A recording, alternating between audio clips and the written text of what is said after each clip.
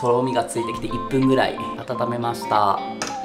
簡単にお家でもスイートチリソースができました。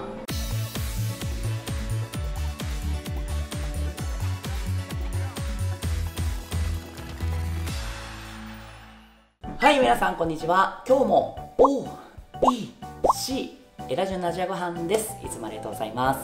はい。それではですね今日初めてショートバージョンの動画でレシピをお伝えさせていただきます。今日はアジアご飯に欠かせないスイートチリソースの即席簡単レシピをご紹介したいと思います。はい。大体ですね大さじ2くらいですね使い切れるような量を作っていきたいと思います。はい。あの生春巻きを食べたい時にあのスイートチーズソース少しだけ欲しいですよね。そういった時にお家になかったらぜひこのレシピで試していただきたいなというふうに思っております。はいあのいろいろな、ね、ポイントなんかもありますのでそこを抑えながらなんか自然な甘さそして辛さを感じていただければいいなというふうに思っております。それでは一緒に作っていきましょう。材料はこちらです。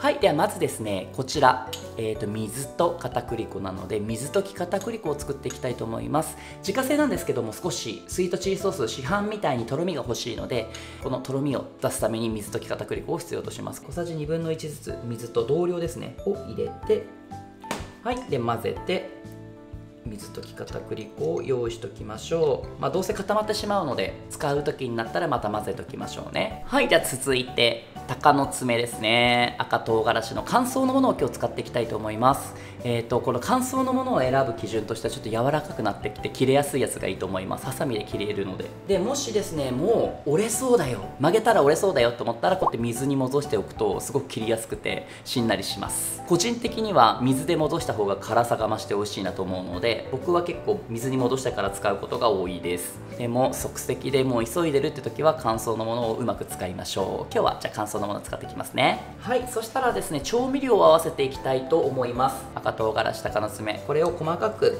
ハサミで切りましょう。はい。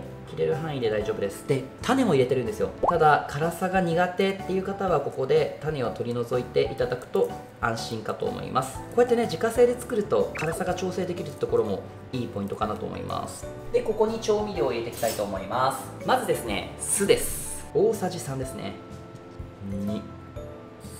23甘さ蜂蜜を入れます。大さじ2ですね。ホエ量大さじ2スプーンなので1杯分入れます。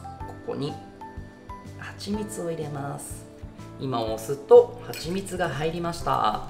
塩です。この3つの指でつまめる塩1つまみを3つでつまんで塩を入れてください。最後にニンニクのすりおろしです。4分の1ですね。小さじ4分の1です。を入れますたったこれだけ。そしたらですね一回全体的に混ぜて火にかけていきたいと思います。そしたらまず弱火から絶対に中火強火でスタートしないでください。弱火で火を入れてください。液面がですねふつふつするまでこのまま弱火で温めてください。そしたらこの状態で2分温めてください。はい2分間煮てる時に時々こうやって混ぜながら煮てください。水溶き片栗粉を入れていきたいと思います一回火を止めてゆっくり回し入れてください。はいそしたらまた弱火に。ゆっくりととろみをつけていきます。で大体1分ぐらいですねこの後。で弱火でも火が強くなってしまってる場合だとごく弱火に。蜂蜜入ってるので焦がさないようにだけ気をつけていきましょう。とろみがついてきて1分ぐらい温めました。そしたらちょっととろみがついてるか見ていきましょうか。あいいですね。いいとろみがついてきました。こ